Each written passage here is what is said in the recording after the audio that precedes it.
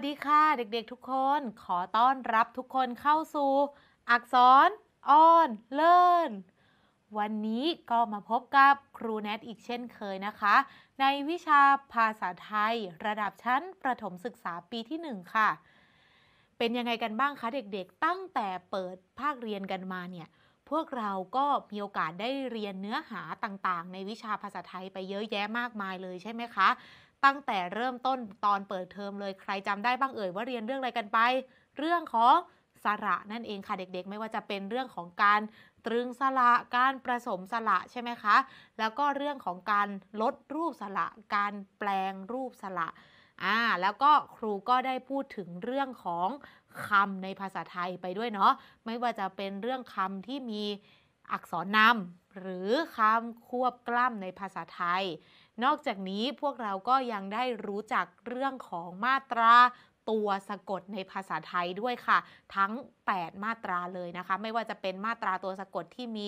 ตัวสะกดตัวเดียว หรือมาตราตัวสะกดที่มีมากกว่า 1 ตัวนั่นเอง นอกจากนี้นะคะ เรายังได้เรียนเรื่องอะไรกันไปคะครั้งที่แล้ว นั่นก็คือเรื่องของประโยคนั่นเองค่ะเด็กๆ เป็นยังไงคะ ได้เรียนทั้งสระ ทั้งเรื่องการอ่านเรื่องสระไปแล้ว เรื่องตัวสะกดใช่ไหมคะคำแล้วก็ได้เรียนเรื่องประโยคไปแล้วด้วย แล้วก็รวมถึงเรื่องของการตั้งคำถาม การตอบคำถาม การเล่าเรื่องต่างๆ ก็ได้เรียนไปพอสมควรแล้ว วันนี้ค่ะเด็กๆ ครูจะพาพวกเรามาเรียนเนื้อหาในภาษาไทยอีกหนึ่งเรื่อง ซึ่งเป็นเนื้อหาที่ครูไม่เคยพูดถึงเลย ไม่เคยพูดถึงเลย แล้วก็เป็นเนื้อหาใหม่ในวิชาภาษาไทย นั่นก็คือเรื่องคำคล้องจองนั่นเอง ชื่อเพราะดีค่ะเด็กๆคำคล้องจอง เด็กๆอาจจะสงสัยว่า มันคล้องจองคืออะไรคะคำคล้องจองคืออะไรคล้องจองยังไงอ่าในภาษาไทยมีอะไรที่เป็นคำคล้องจองบ้าง เด็กๆ พร้อมที่จะเรียนเรื่องคำคล้องจองกับครูแนทไหมคะ ถ้าพร้อมแล้วขอเสียงหน่อยค่ะเด็กๆ พร้อมไหมคะ ถ้าทุกคนตอบเสียงดังฟังชัดอย่างนี้ว่า พร้อมแล้ว งั้นเรามาทำความรู้จักกับคำคล้องจองในภาษาไทยกันเลยค่ะ ก่อนอื่นเลยนะคะ เด็กๆ ครูก็คงจะต้องเริ่มต้นด้วยความหมายของคำก่อนว่า คล้องจอง คล้องจองเนี่ยหมายถึงอะไร อ่า คล้องจองในภาษาไทยหมายถึง สัมผัสกัน สัมผัสกันหรือมันไม่ขัดกัน สิ่งที่สัมผัสกันหรือไม่ขัดกัน เราจะเรียกว่าคล้องจอง แล้วคำคล้องจองล่ะ หมายถึงอะไรคำคล้องจองก็หมายถึง อ่าคำคล้องจองก็หมายถึงคำที่มีเด็กๆ ขีดเส้นใต้ตามครูนะคะคำที่มีเสียงสัมผัสกัน ขีดเส้นใต้คำว่าเสียงอขออนุญาตเปลี่ยนเป็นสีน้ำเงินคำที่มีเสียงสัมผัสกัน โดยที่มันจะมีเสียงสัมผัสกันได้ หรือมันจะมีเสียงคล้องจองกันได้เนี่ย มันต้องมีลักษณะสำคัญคือ ลักษณะสำคัญนะคะเด็กๆ มีลักษณะสำคัญคือคำนั้นจะต้องเป็นคำที่ใช้สระเสียงเดียวกัน ขีดเส้นใต้ว่าสระเสียงเดียวกัน สระเสียงเดียวกัน ถ้าคำคำนั้นมีตัวสะกด ถ้ามีตัวสะกด ต้องเป็นตัวสะกดในมาตราเดียวกัน เสียงมันจะคล้องจองกันได้ ก็ต่อเมื่อคำสองคำนั้นอะลืมบอกว่าคำคล้องจองมันจะคล้องจองกันได้ ต้องมีสองคำขึ้นไปนะคะ เด็กๆอะหรือต้องมีมากกว่าหนึ่งพยางค์ขึ้นไป ถ้ามันมีคำเดียวเนี่ย มันจะไม่ถือว่าเป็นคำคล้องจอง ถ้ามันจะคล้องจองกันได้ แปลว่าคำสองคำนั้น จะต้องมีลักษณะคือหนึ่งมีเสียง มีเสียงสระหรือใช้สระตัวเดียวกันผสมกับสระตัวเดียวกัน 2. ถ้าในกรณีที่มันมีตัวสะกด ถ้าคำนั้นมีตัวสะกด ต้องเป็นตัวสะกดในมาตราเดียวกัน ถามว่าทำไมจำเป็นจะต้องเป็นตัวสะกดในมาตราเดียวกัน เพราะถ้าเป็นตัวสะกดในมาตราเดียวกัน เสียงของตัวสะกดก็จะเหมือนกันนั่นเองค่ะเด็กๆ แต่ค่ะเด็กๆ แต่ครูมีเงื่อนไขว่าคำที่จะเป็นคำคล้องจองกันได้นั้น จะต้องทำไมคะ จะต้องมีมีอ่าพยัญชนะต้นขอโทษค่ะ จะต้องมีพยัญชนะต้นต่างกัน สระเหมือนกัน ตัวสะกดเหมือนกัน แต่พยัญชนะต้นต้องต่างกัน จะเป็นตัวเดียวกันไม่ได้ไม่อย่างนั้นมันจะเป็นคำเดียวกันอ่าดังนั้นครูก็มีตัวอย่างคำคล้องจองดังต่อไปนี้มาให้พวกเราได้เข้าใจกันมากขึ้นคำแรกหนังสือ หนังสือ หนูดูคำลงท้าย มันลงท้ายด้วยสือ สือคือสระอือ สือคือสระอือ ดังนั้นคำที่จะเป็นคำคล้องจองกับคำว่าหนังสือ ก็ต้องขึ้นต้นด้วยสระอือ นั่นก็คือคำว่า ถือของ ถือของ หนังสือ ถือของ สือเป็นสระอือ ถือก็เป็นสระอือ สระเดียวกัน แต่คำนี้ไม่มีตัวสะกดใช่ไหมคะ เป็นสระตัวเดียวกัน แต่พยัญชนะต้นต่างกัน เพราะสือใช้สอเสือและถือใช้ถอถุงนั่นเองอ่าเด็กๆ พอจะเริ่มเข้าใจไหมคะ เด็กๆขาคำคล้องจองเนี่ยถ้ามันเป็นในลักษณะแบบนี้ มันจะต้องเป็นแบบพยางพยางพยางสุดท้าย พยางสุดท้ายของคำหน้า กับพยางหน้าของคำหลังนะคะ เช่น สือเนี่ยมันเป็นคำสุดท้ายของคำว่าหนังสือใช่ไหมแต่ถือของคำว่าถือ มันเป็นคำแรกอะเออ มันเป็นคำแรกของคำว่าถือนั่นเอง ของคำว่าถือของ ดังนั้น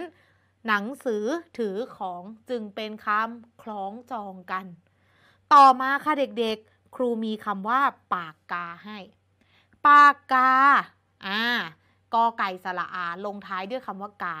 ดังนั้นคำคล้องจองก็ต้องเป็น ระอาเหมือนกัน ปากกางาช้าง ปากกางาช้าง กาใช้สระอา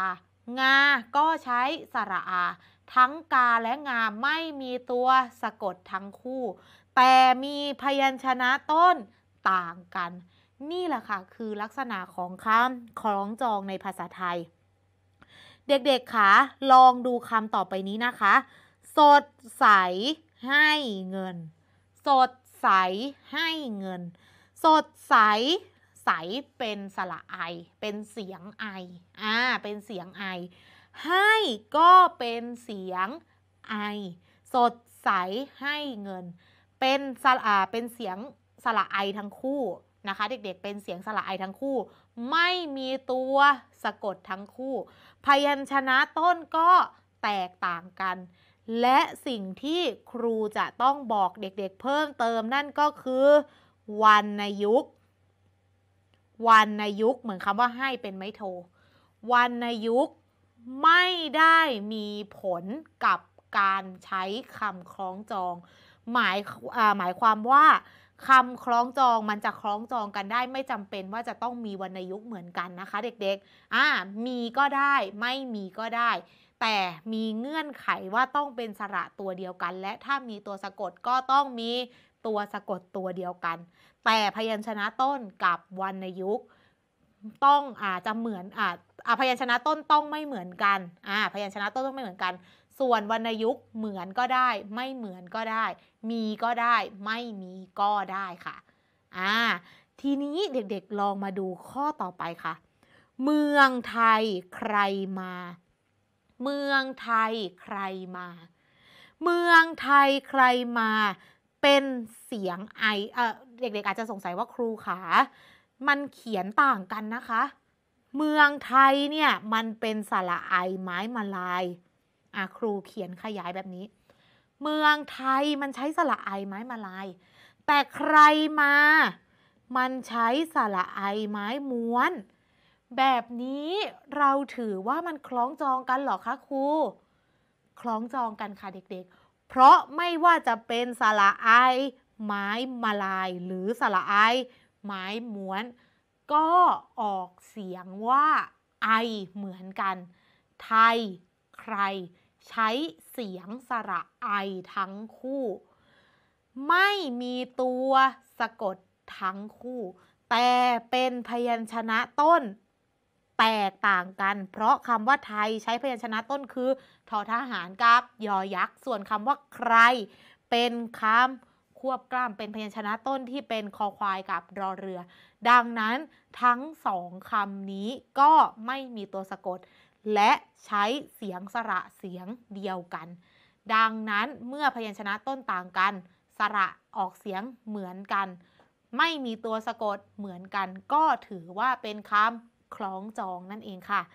อีกคำหนึ่งที่ครูนำมายกตัวอย่างนะคะ เด็กๆคำว่า เล่าเรียนกับเขียนอ่านเล่าเรียนกับเขียนอ่านที่นี้แหละคำว่าเรียนเป็นสระเอีย และมีนอหนูเป็นตัวสะกด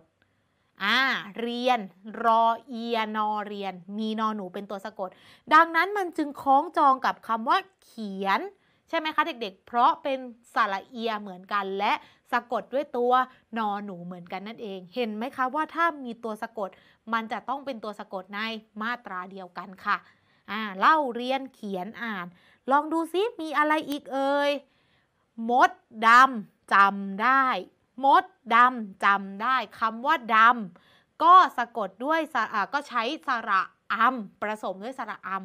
มดดำไม่มีตัวสะกด และคำว่าจำก็ไม่มีตัวสะกด มดดำจำได้เป็นสระอัมทั้งคู่ ไม่มีตัวสะกดทั้งคู่ และพยัญชนะต้นต่างกันคำหนึ่งดอเด็กคำหนึ่งจอจาน จึงเป็นคำคล้องจองกันนั่นเองค่ะอะ ลองมาดูซิตัวอย่างที่ครูยกให้มีอะไรอีก แมวลายขายของ แมวลายขายของ ลายกับขายก็ใช้สระอาเหมือนกัน และสะกดด้วยยอยักษ์เหมือนกัน เป็นมาตราแม่เกยเหมือนกันนั่นเอง ดังนั้นจึงเป็นคำคล้องจอง ผ้าห่มจมน้ำผ้าห่มจมน้ำทั้งคำว่าห่ม และคำว่าจม เป็นสระโอ ทั้งคู่เด็กๆจำเรื่องการลดรูปสระได้ไหมคะ การลดรูปสระโอเนี่ยสระโอเมื่อผสมกับ ตัวสะกดเราจะลดรูปสระโอทิ้งไปเนาะดังนั้นทั้งคำว่าผ้าห่มและจมน้ำเป็นสระโอทั้งคู่ สะกดด้วยมอม้าเหมือนกันทั้งคู่ แต่พยัญชนะต้นต่างกัน แล้วก็วรรณยุกต์ไม่ได้มีผลดังนั้นห่มกับจมก็คล้องจองกันอ่าลองดูอีก ยางลบศพตา ยางลบศพตา ก็สระโอเหมือนกันสะกดด้วยบอใบไม้เหมือนกันแม่กบอ่าดินสอตอไม้ ดินสอตอไม้ ดินสอเป็นสระอนะคะ เด็กๆ ออ่างไม่ใช่ตัวสะกดนะคะ ดินสอเป็นสระอ แล้วก็ตอไม้ก็เป็นสระอ พยัญชนะต้นเป็นสอเสือกับตอเต่า แบบนี้ทั้งสองคำก็เป็นคำคล้องจองกันนั่นเองค่ะ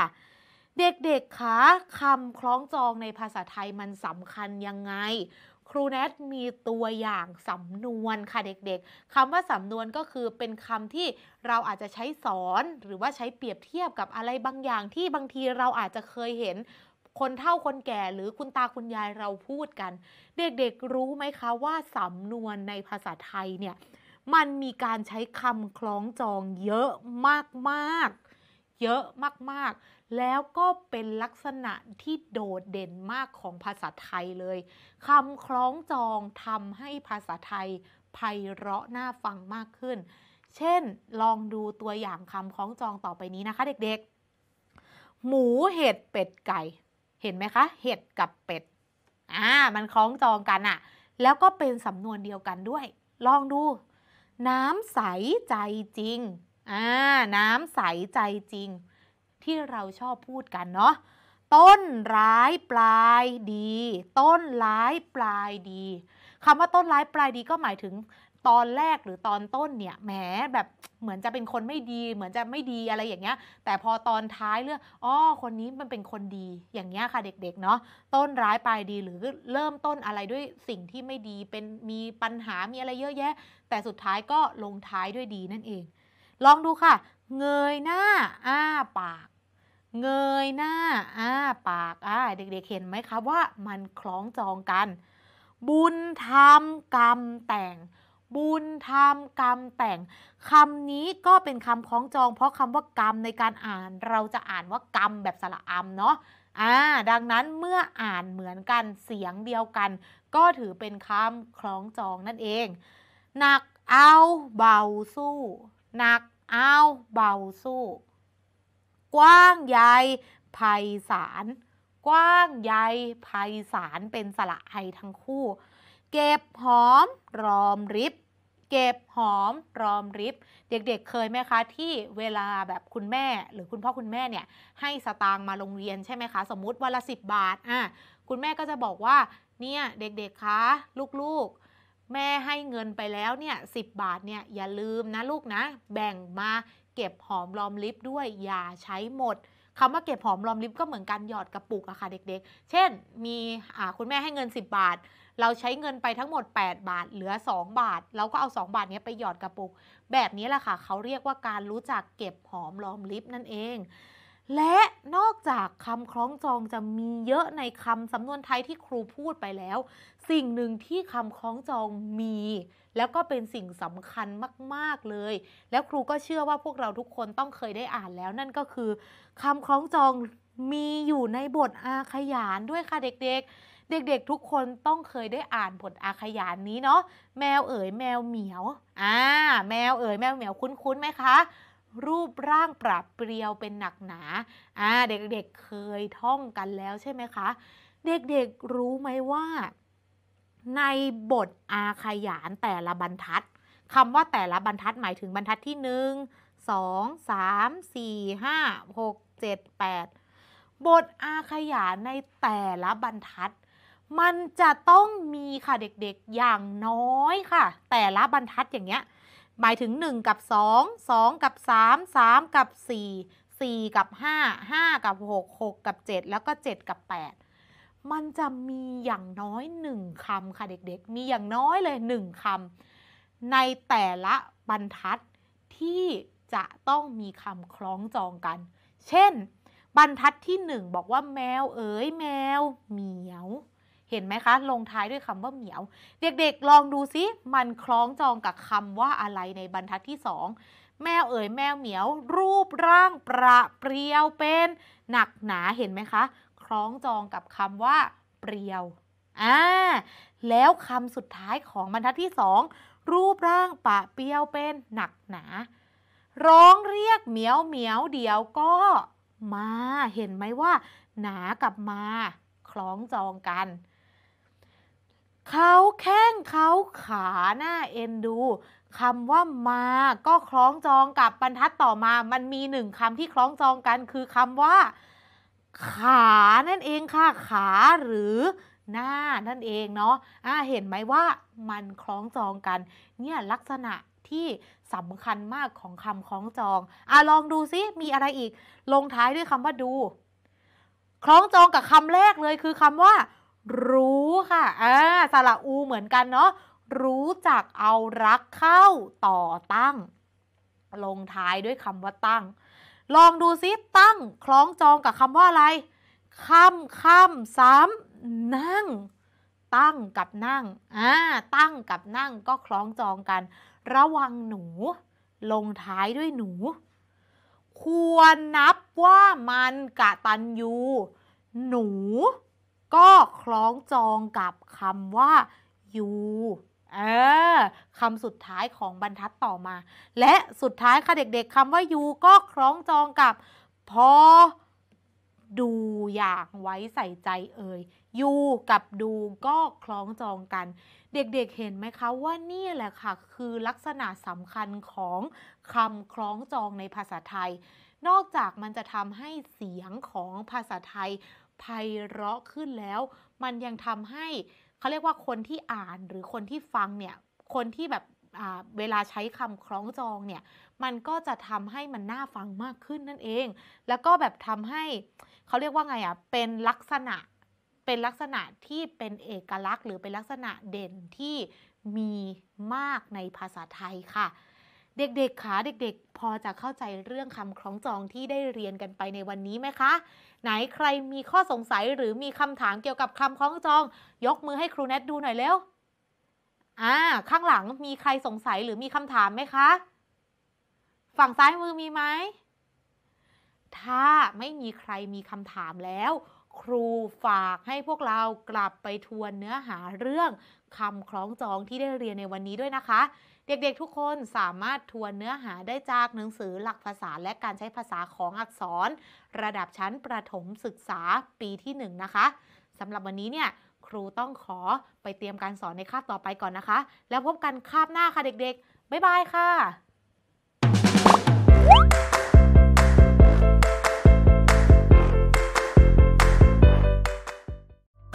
อย่าลืมกดติดตามและกดกระดิ่ง เพื่อไม่ให้พลาดสาระความรู้ดีๆ จากพวกเราอักษร Education